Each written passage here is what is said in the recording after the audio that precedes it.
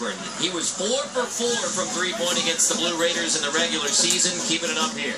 Exactly. Tried to get it to C.J. Cooper, but couldn't. Washburn, it was contested, but heck of a shot. They fly at him. Raymond flies at him.